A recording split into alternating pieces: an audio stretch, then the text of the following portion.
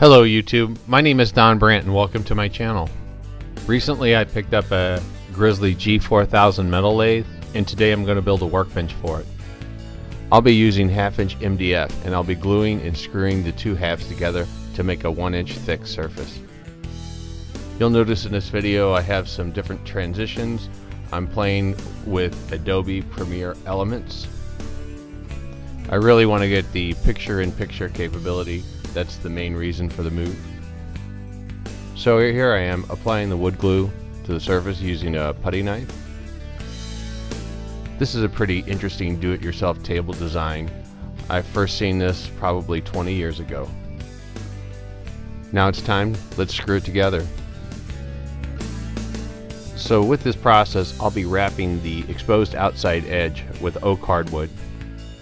The oak will be raised above the edge of the table approximately an eighth of an inch. I want to give a shout out to my buddy John.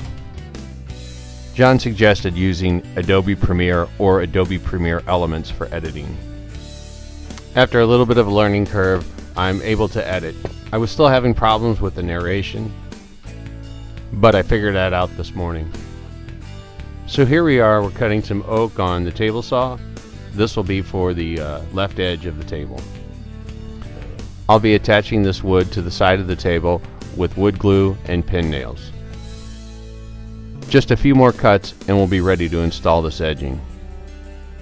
So John has a YouTube channel as well and I'm going to leave a card at the end of video. If you guys have a minute, he does some outdoor stuff and outdoor recording and really you ought to go check out his channel. Now the reason we raise the oak about an eighth inch above the edge of the side is because we're going to install peel and stick tiles as a work surface on top of this table. You may notice I'm installing this wood with all the saw cuts in place. It will give it kind of a rustic look, but I am going to sand it as it's installed and finish it before I install the tiles. I also want to give a shout out to Ron Hamp uh, who, when I was a teenager, allowed me to work in his wood shop and taught me everything I know about working with wood. To make sure that the peel and stick tile sticks properly, um, I'm using a slightly damp cloth to wipe up all the wood glue and uh, sawdust that may be left over. Quick note, this water will be fully dried before attaching the tiles. Come to think of it, Ron, I built quite a few workbenches in your garage as well. A long time ago. Now it's time to do some quick sanding on the rough sawn oak.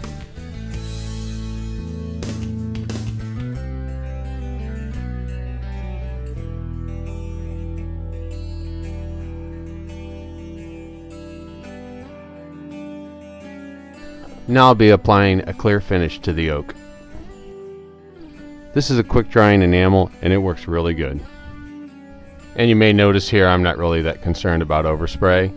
Uh, this will all be covered up with the peel and stick tile.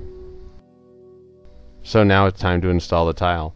This was left over for another project that I did in the basement, uh, so I didn't have to purchase any.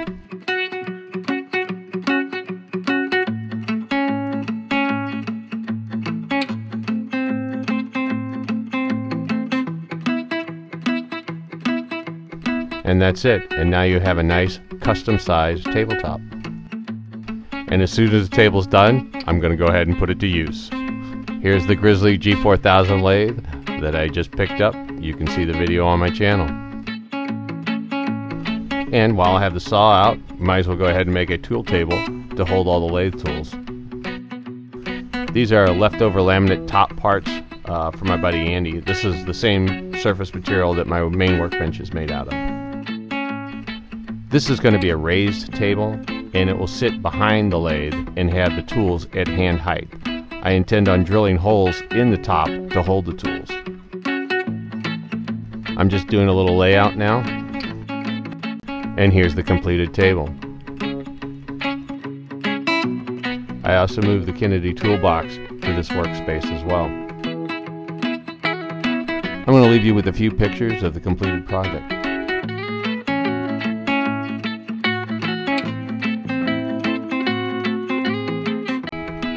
Thanks for watching. Please like and subscribe.